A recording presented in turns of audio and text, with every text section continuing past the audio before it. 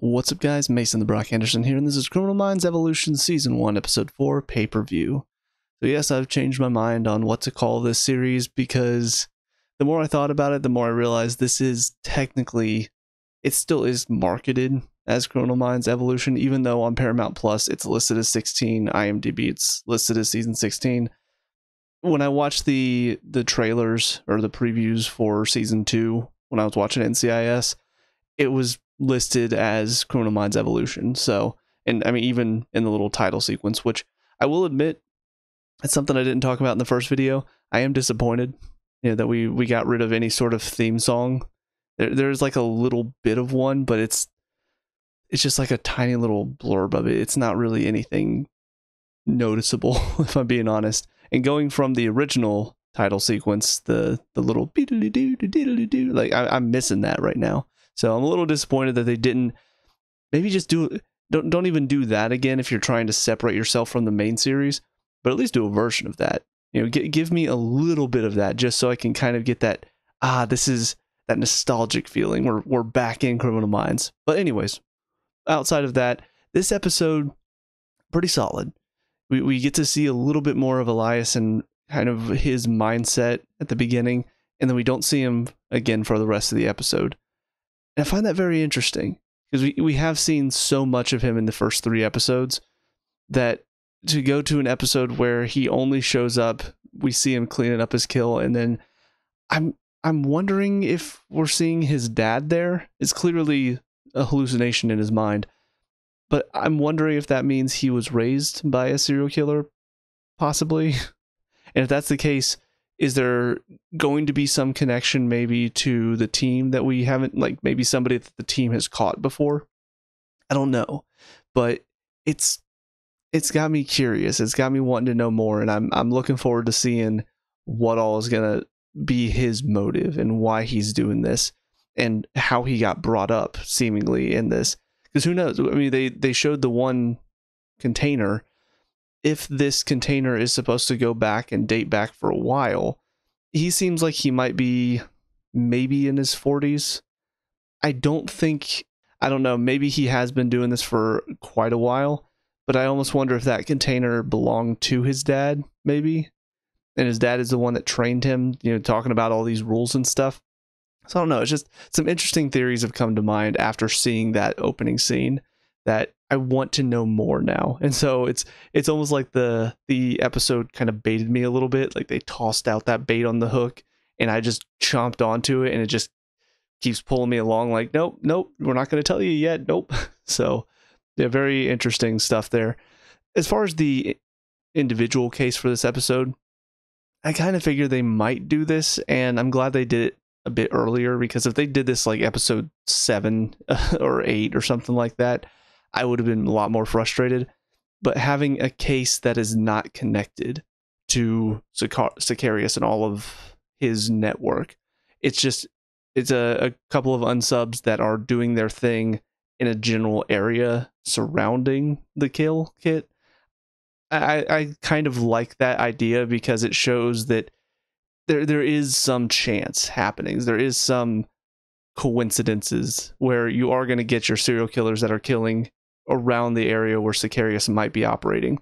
It kind of makes sense. And I'm I'm glad that they did have one episode to show that not every single serial killer they're going after right now is connected to Sicarius. There are still occasionally ones that'll pop up that are going to be unrelated.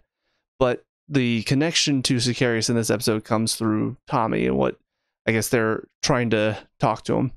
At least I hope it's Tommy. I said that with such confidence, and now my brain's sitting there going, dude, you don't remember names very well. Are you sure it's Tommy? And now I'm not sure anymore. but trying to get him to remember what happened to his sister and all of that, and seeing him have his conversations with Garcia as well after he got her involved by sending her the, the kill kit information, it was all pretty well done. You know, the guy playing him pretty solid in his performance so far. It's it shows that he is frustrated. He is clearly trying to push back a bit, but when he realizes what his actions did to Garcia and he realizes that the team is doing their best to help him as well, he kind of lets his guard down a little bit. And then that scene where he realizes he didn't even get a look at the guy who possibly killed his sister. And I'm almost kind of wondering if we're going to find out that Elias did not kill his sister because Lee, I guess it's kind of close. So maybe he was using an alias at the time, possibly. But I'm almost wondering if the Allison that the one guy was bragging about killing, or maybe it wasn't even Elias that was doing the bragging. Maybe this Lee guy was a part of the network and he's the one that killed Allison. But I don't know. It's it's just a lot of unknowns in at this point. So I'm wondering if we're going to get confirmation on a lot of that, or maybe some of this will be left up as a mystery. Maybe possibly setting up for a season two type of thing. I don't know. It's very, very much a, a question mark at the moment. But I kind of I like how they handled it in this episode because that where the the case they were working on did not connect to Sicarius, they still had that connection. They still were getting information, and that was a pretty good chunk of the episode was talking to him and getting him to remember what happened. As far as the stuff with JJ and Will, because I don't know, they were getting a lot of attention. And I was worried that there was going to be kind of them growing apart, maybe because I'll be perfectly honest. I, am I'm, I'm obviously not going to name names or anything, but I did have a couple of people that I knew that before the shutdown and all of that, they were they seemed like really good couples and they seemed like they really loved each other and blah blah blah all of that and it almost did seem like the shutdown changed things and maybe some of it was they weren't around each other as much. And so they managed to push uh, push aside certain issues. Maybe the shutdown changed them or changed one of them a little bit. But it did feel like there were definitely a couple of couples that were together for quite a while. And then shutdown happens and then suddenly I, I see that they're no longer together. And it was very confusing and so i was worried you know whenever they showed jj and will having some issues i was worried that that's what they were going for but then they seemed to work through it and it seemed okay. Thinking okay cool. And all of a sudden will has cancer. Okay. It just it feels like they it, already what they did with rossi you know taking away I've I've already forgotten her name because, like I said, names are terrible.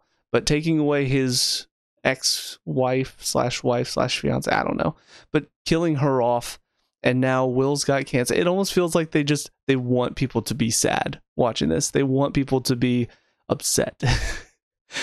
so I I hope he pulls through. I hope it's it's not cancer. I'm I don't know. It's just uh, as soon as he said that, I'm like, come on, Criminal Minds, why you got to do this to me? Why can't you just let me be happy? and I will also say, because there were a few more references. Obviously, they're still referencing the pandemic, because again, it does tie into what Sicarius is doing and part of his MO, more than likely. But some of the lines that they they're starting to say, it is getting dangerously close to using that term that was thrown around for so long that I absolutely hated, and thankfully we haven't heard in a while. But the whole "this is our new normal," it, when when Will's talking about open up opening up the restaurant, and JJ is like, with proper distancing, of course, he's like, "Oh yeah, of course, safety is is absolutely important." And I'm just I'm sitting here thinking about all of the places that I've gone into that have the six feet apart stickers that clearly should have been pulled up a while ago, but I'm sure a lot of these places thought, oh no, this is our new normal. So we're going to put these down so people always know. Nobody follows them anymore.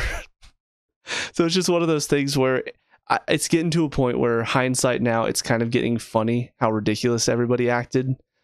But at the same time, there's also that reminder of, God, this was how things were. This, I mean, this is what they were trying to do was just make it so commonplace in our everyday life. And I'm just god, I'm glad we didn't get to that point. I'm glad we're past that now, but man, it still can be a little frustrating whenever it's kind of thrown back in your face.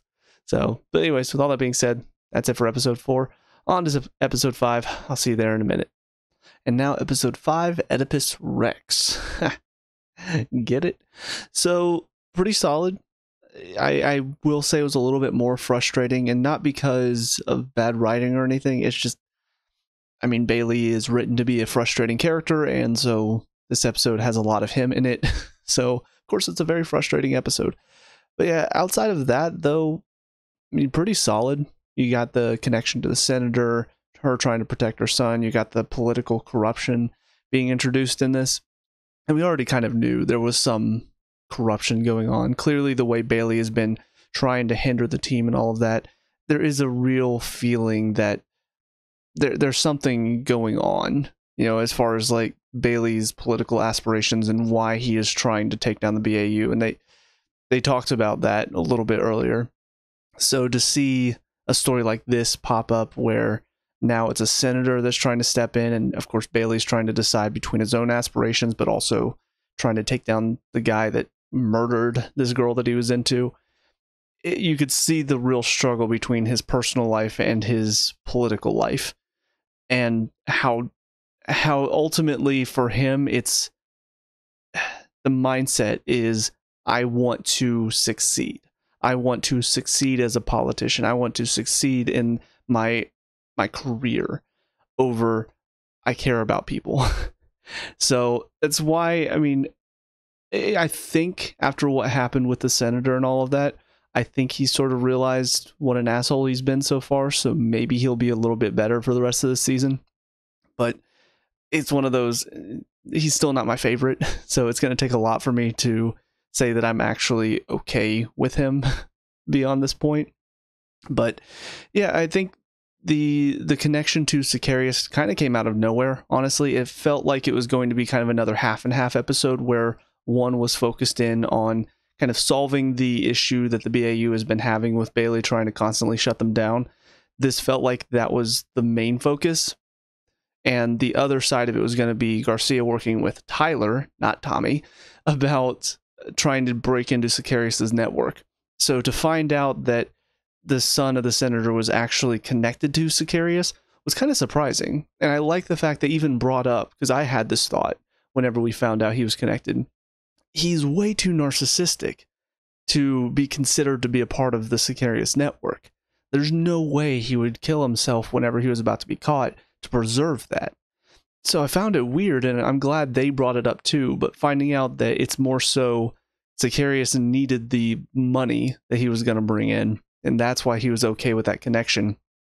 And even then, you know, there was still a backup plan in place where he was going to help out if he got the 911 text. It kind of goes to show that yes, he can't control everything, and some of that lack of control over some of these guys it is leading to moments where they're going outside of the rules, which is linking them back to his network. But he still has enough fail safes in place that even if a couple people do step out of line, he's still ready to cover that up. So he's very clearly showing how in control he is in all of these different situations.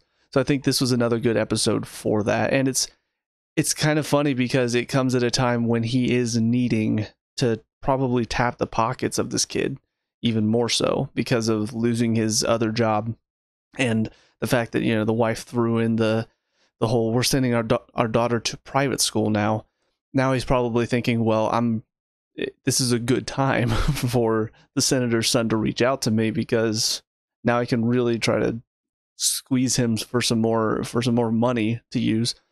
So yeah, it is a little coincidental that all of this is happening right now, but I like how it ended up connecting. I like how they brought it all together, even though initially, when you look at it, it doesn't make any sense. But the stuff between Garcia and Tyler, it's okay you know, I don't, it's kind of hard for me to tell because I've seen so many shows and I've seen sh- so many bad shows that there's a concern for me that Garcia and Tyler are maybe going to become a thing. I don't think so. I, I don't think Criminal Minds would do that, but I've just seen so many shows where they do stuff like this, where you got two people who are constantly bickering and arguing and all of that, and they seem like they don't like each other, and then they get together because it makes no sense and that's what people want, right? To a couple constantly bickering and arguing, that's what they want to see, right? Like that's that's a good couple, right? So there is that concern for me. And so that's why I'm not fully enjoying these scenes between the two of them. I liked how he made it up to him. And honestly, there is something funny about seeing this guy who is so he is frustrated. You know, he's he, what he was trying to do, he was trying to do on his own, and now he's kind of being forced to work with the FBI, which he does not want to do. And so there is that level of frustration that he's trying to work through. So that is funny seeing him and Garcia go back and forth and kind of it's not the same level of I think of Garcia and Alvez, you know, how she kind of pokes at him consistently. It's not on that level. It's more so like no, they don't like each other and so they're constant back and forth of like just prodding each other. You know, she makes fun of him and then he makes fun of her. It's not out of a a place of love like it is with Garcia and Alvez. This feels like there's just this level of disdain that they both hold for each other and that's kind of what makes it funny to me, especially coming from somebody like Garcia, who is very much a I love everybody type of person. so to see her really dislike this guy and constantly just throw it in his face how much she dislikes him, that's why it worries me because clearly he wants to help her to help him. You know, this doesn't feel like he, at the end when he's giving her the kitten, it's not so much a okay, we're we're okay now. It's more so a I realize she is the best option we have to catch this guy that killed my sister. So I'm gonna make nice. You know, I still don't necessarily like her, but I'm gonna to offer a peace offering because you know I need her right now. So maybe they will form a bit of a friendship. I just hope it doesn't turn into any sort of like romantic thing because I just don't see it at all. But the stuff with JJ and Will also gets a little bit more time it seems like maybe it's not cancer. You know, they said it was just a thyroid issue, so I'm fingers crossed that that's the case. But of course, at the end here, we see with JJ and Luke possibly being injured or maybe killed. I so this is one of the disadvantages whenever I do these reviews. Most of the time, I'm doing reviews of seasons that happened previously, and either you know future episode pictures or previews for future episodes can be a little bit spoilery. I'm pretty sure that I've seen both JJ and Luke in previews for season two when I was watching NCIS and the commercial would come on for this. I'm not entirely sure. I could be wrong about that, but I'm pretty sure that I saw that. So, granted, they could still be horribly injured, you know, going forward, but I'm fairly certain they both make it out. I will say there was a little bit of a, I don't know, kind of a stupid moment where yes, when they first enter, I can see them looking around just to check everything. But as soon as the cell phone came on and it came on next to these gas canisters, my first mindset is get out of there. Like, if I saw a cell phone turn on be, that was attached to gas canisters, my thought would be that's a bomb. We need to go now. so the fact that it took them, what is that?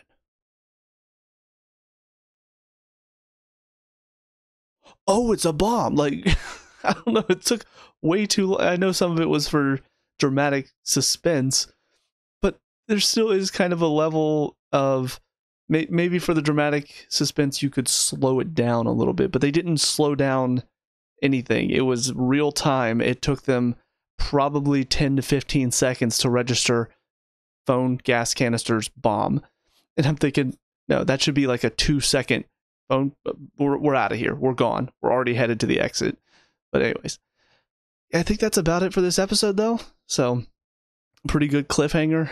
Again, we'll we'll see where it goes. We'll see if I'm incorrect in my my thinking as far as who's still around for season two. I will also say because they made a big deal of Will telling her to call because he's always been worried about her, and I did like that little back and forth where you know she was hitting him like don't do this to me again. Like what are you talking about? You do it to me all the time. Because you know the whole hiding the dangerous stuff that they do.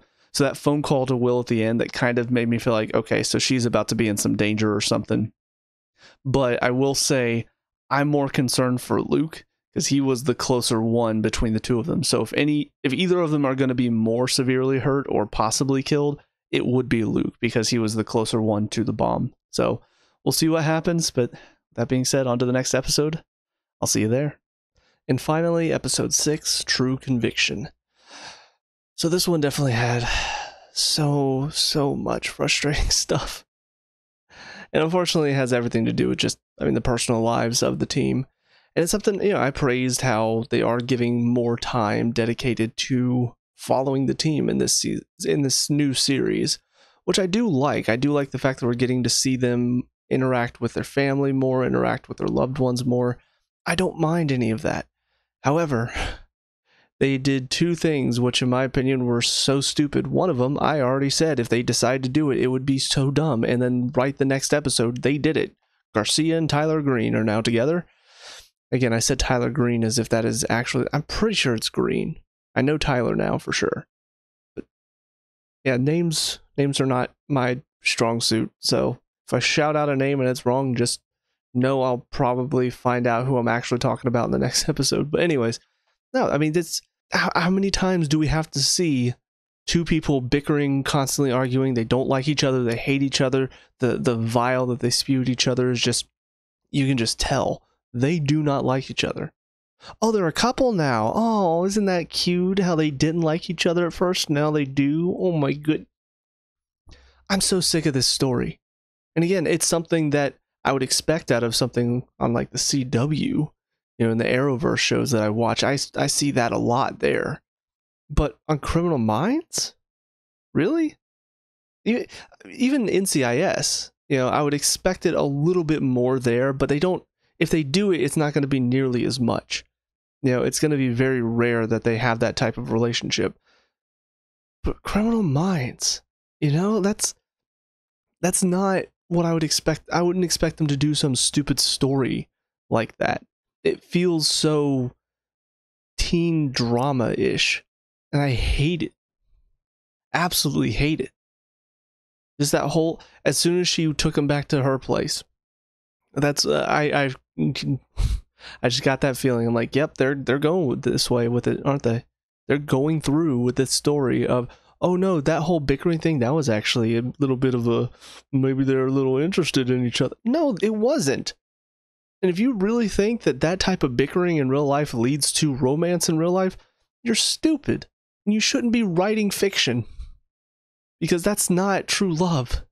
And uh, granted, you know, it's not like they're trying to claim this is true love or true romance or anything like that. This is still, you know, they just shared a kiss at the moment but it still it should not lead to a relationship because it's not going to be a healthy or good relationship.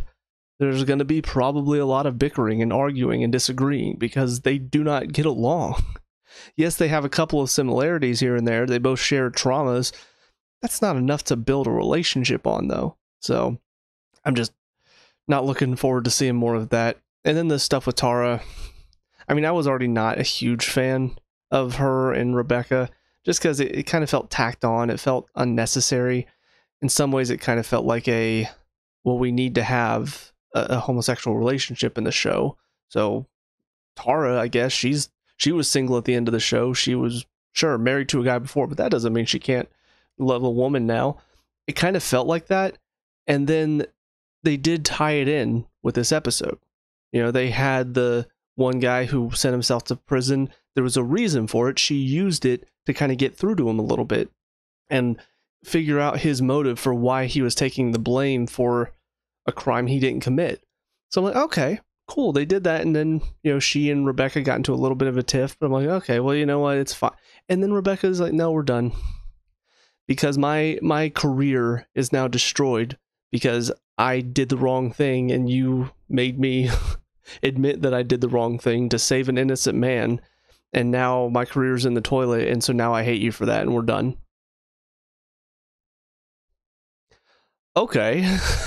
just sure, let's just basically make Rebecca the worst person on the show. like even worse than Bailey in some ways. Because it's not like first of all, the reason Tara kept you out of it is because they were not sure yet, and she did not want to throw suspicions onto your conviction that made your career if they didn't know for sure. You find out, you're pissed about it, okay, fine. But then at the end of it all, when it's all said and done, you have to take responsibility for making a mistake. That's what you did. You did the you made the wrong conviction. You got an innocent man put in prison. That's on you. You have to make up for that and yet she's still as Tara's telling her that that's what she's got to do. She stands up and storms out of the room without so much of a second word. I'm thinking, okay, so she's going to be a little pissant about it then, huh? And sure enough, oh, I'm under review. And you you're the one. You didn't tell me what you needed from me. What? what do you mean? How is any of this Tara's fault? Again, you're the one who made the mistake, so you have to be the one to accept responsibility for it. Just because Tara and her team are looking into it and find that you made the mistake, that doesn't mean it's their fault. You're the idiot who did it in the first place. So, here, hold up a mirror. There's your problem. It, it's just so stupid. And again, it was a relationship I already was not a huge fan of. And then they go and do this with it. And they have like this super emotional music as if I'm supposed to care about. Did anybody care? You know, outside of the people, of course, that were like, ooh, Tara is with a woman. Outside of those people, did anybody really care about Tara and Rebecca? Because they were not, I mean, they were thrown together at the beginning of this season. And it just sort of came out of nowhere. Rebecca's not a character we knew from the original show. So you had to make me care about them. We got a couple of scenes of them in an earlier episode. And that was basically it. You know, it was Tara asking Rebecca to move in with her. And it was kind of out of nowhere. It was just they've apparently been together for long enough to get to that point. So it's like, okay, so this is a little bit more serious than just they've been on a few dates. But that still doesn't make me care about the relationship. You have to show me why do they make a good couple. We've not really seen them being a couple. We've seen them in the office together, you know, handling cases and Rebecca getting information for Tara. And that's kind of all we've seen of them being an actual couple. So we haven't really seen well, what are they like on dates? Why do they connect? Why are they together? What what interests interests do they share? We've not seen any of that. And now Rebecca acts like a little baby and dumps Tara because, well, she made a mistake and Tara pointed it out.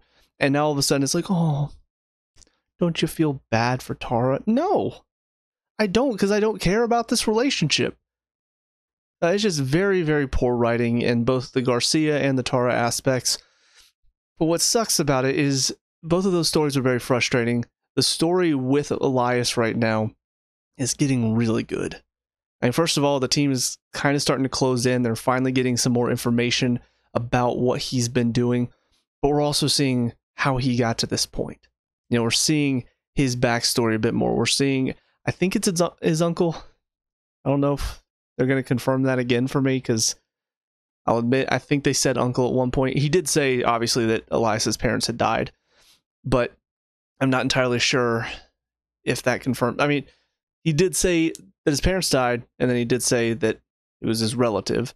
So I want to say uncle, but I could be wrong about that.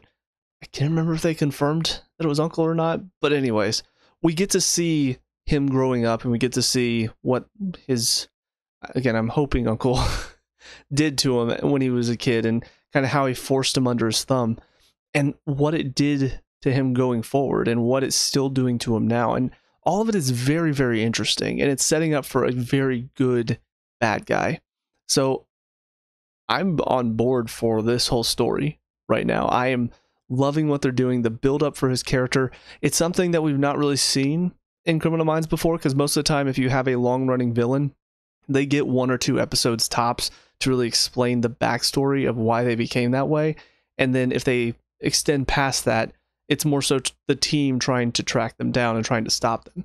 There's not really a, an expansion of what we know about them. This is the first case where we've been learning about him more and more slowly throughout the season with every episode. And with each one, it kind of deepens my curiosity about what he's doing and why he's doing it. So they've got a really good setup for villain here and I can't wait to see how it all comes to a head. You know, how it gets to that point where the team finally figures out who he is and manages to track him down. We did also get confirmation as well about Tyler's sister. We did see that Allison was one of the bodies that they found in the in the locker that blew up. And we also found out that apparently Lee was the name that I guess his uncle was calling him. So I don't know if that means that was his birth name and then he changed it to Elias at some point to maybe cover his identity. And who knows, maybe because at the end when he's watching his uncle die, he said something about, you know, this is how they'll tie you to me. But maybe if he changed his name and changed his identity, maybe they maybe that's why he's so confident that he won't be caught because he knows that there's no technical relation to them anymore because he's already changed his name and his identity and all that. So, I don't know, it's kind of an interesting concept, and I'm looking forward to seeing how that progresses. And there still is a little bit of mystery surrounding it. We've gotten a lot of the answers, I feel, so we know most of the story with him, but there's still some finer details that they've left shrouded in mystery at the moment, and that's the part that I'm excited for. And then, of course, once the team do manage to track him down, how do they manage to catch him? Maybe there won't be enough proof, and they have to find proof of it. But it feels like, I mean, he's got this other life with his family. It almost feels like he has this life solely for the purpose of, no, this is my life. You can't prove that I am like that because I have this. So it almost feels like a a failsafe to him to have a backup plan of a normal life so that if people do start to catch on and if the feds do start to catch on, he has this to fall back on and to say, nope, you're wrong. So we'll see what happens with all of that. But yeah, I think on the whole of it, if this is the most frustrating these episodes get, I'll be fine with that. Because yeah, it's just if it were only Garcia's story or if it were only Tara's story, it would not have been so frustrating. But because both of them happened in one episode and they were both equally frustrating, unfortunately, it just it dragged this episode down as a whole for me. So, but that's just my thoughts. Let me know what you guys think down in the comment section below. What were your thoughts on these three episodes? Let me know. We could talk about and discuss all that good stuff. Leave a like and subscribe to Future Criminal Minds Evolution reviews, and I'll see you guys at the next one. But until then, hope you guys have a great day, and I'll talk to y'all later. Peace out.